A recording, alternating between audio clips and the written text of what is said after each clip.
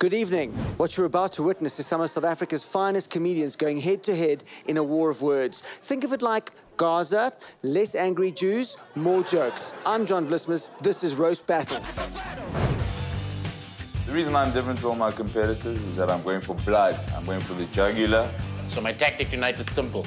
Go up there, say words in a predetermined order, and they will hurt. The way I got ready for this battle was to uh, research my opponent, Eric Jasen. I visited his friends, his exes. Some of us made out. Look, if I don't win, it's simple. I'm moving to China, changing my name to Rodriguez Gonsalves. I'm gonna become a mango salesman. It's gonna be an epic night. A terrible one for my opponents. They're gonna need some tissues, maybe even a nappy, depending on how this goes. Please welcome two comedians you'll be forgiven for not knowing because their fathers don't know them either.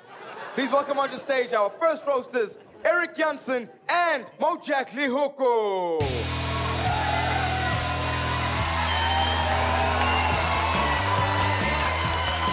No holds barred. You can say anything, but no physical contact. All right? And if you look at me for too long, she will have your baby. That was the plan. Are we ready? yes, we are. Yes, sir. Let's battle. What do you do for a living?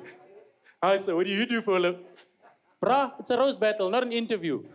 Better change. Yes. Let us know when you want to start.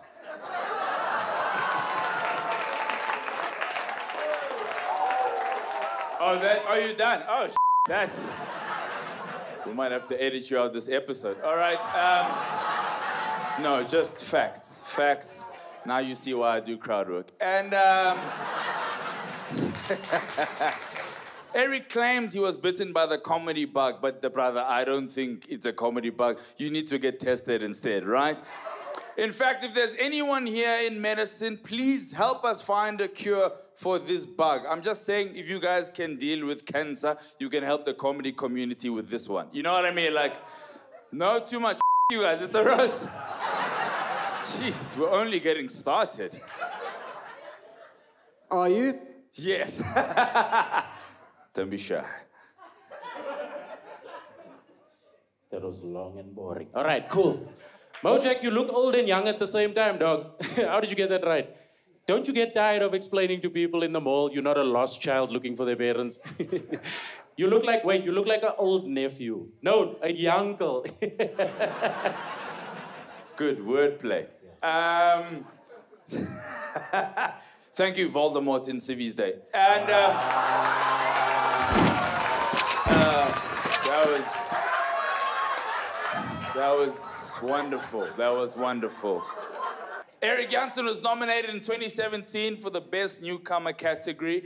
Uh, 2017 was also a big year for the Me Too movement. What I'm trying to say is that if you're a fan of Eric or Louis C.K., you probably almost got you know what I mean?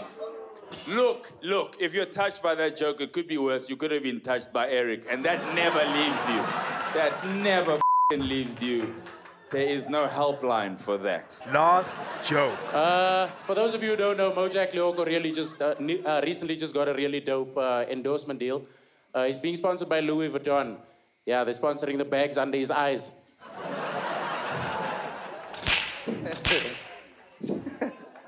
That was actually good. That was that was one of. It took seven tries, but you know what?